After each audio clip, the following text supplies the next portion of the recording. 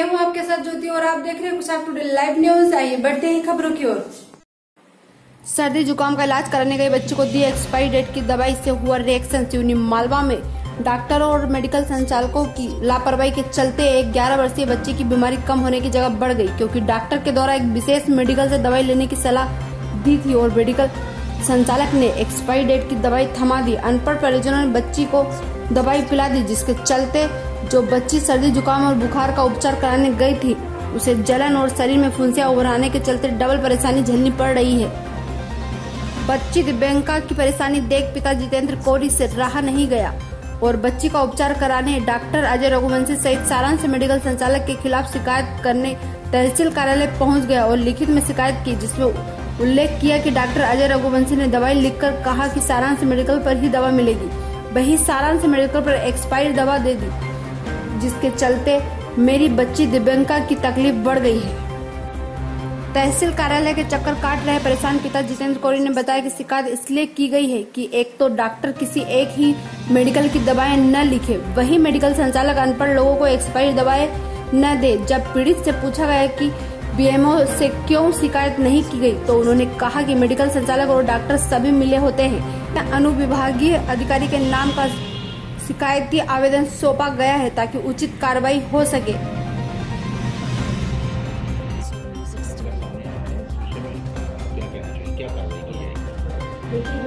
अभी मीडिया के द्वारा मुझे पता चला है कि एक मेडिकल स्टोर से एक्सपायरी दवाई दी गई अगर ये मामला मेरे संज्ञान में आपके तरफ़ से आया है इस पर आपने ही मुझे बताया कि अनुविभागीय अधिकारी जी को ज्ञापन दिया गया है। अधिकारी द्वारा मेरे से जानकारी चाही जाती है मुझे जाँच के लिए बोला जाता है तो उस पर अवश्य रूप से जाँच की जाएगी द्वारा शिकायत की गई कि दवाई दी गई एक्सपायरी डेट की दी गई इस विषय में क्या कहना देखिए हमारे पास तो पेशेंट आते हैं पेशेंटों को देखते हैं देखने के बाद उनकी जो बीमारी उन्होंने जो बताई उसके आधार पर दवा लिख देते हैं।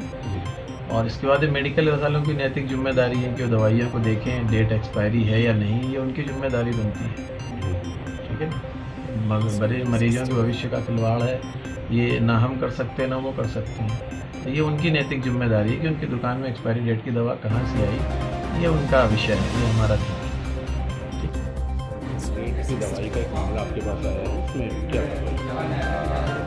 बालवा निवासी जितेंद्र कोरी द्वारा एम साहब के नाम से एक आवेदन प्रस्तुत किया है, जिसमें उन्होंने लेख किया है कि उनकी बच्ची को सर्दी खांसी हो गई थी। उसकी दवाई जो संबंधित डॉक्टर ने लिखी, वो सारांश मेडिकल सिवनी बालवा तो लेने गए तो उनको जुलाई 2018 अर्थात एक्सपायरी डेट की दवाई दी गई उसकी शिकायत उन्होंने की है इसको संज्ञान में लेकर कार्रवाई करते हैं। एक्सपायरी दवाई का पूरा मामला बताएँ क्या हुआ?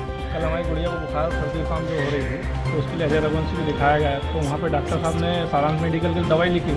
तो सारंग मेडिकल वालों के द्वारा ना एक्सपायरी डेट की दवाई दी गई जिससे बच्ची को रिएक्शन वगैरह हो गया खूजान जलन सी हो रही है।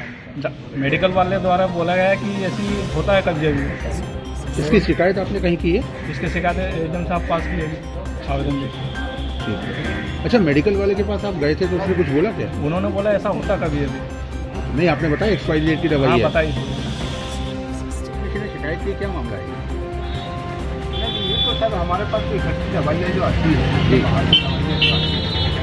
तो क्या है कि कोई कोई रियली भेज देता है ज़्यादा एक्सपायरी का भेज देता है उस कभी कभी नहीं देख पाते तो ये जो दवाई दी गई थी दस दसवें महीने के लॉट से दी गई थी? दसवें महीने के लास्ट से और बारहवें महीने के लास्ट से दी गई दवाई तो इसमें ये जो ऊपर से दवाई है उनकी गलती ये दवाइयाँ ये दवाइयाँ ऊपर से आई थी।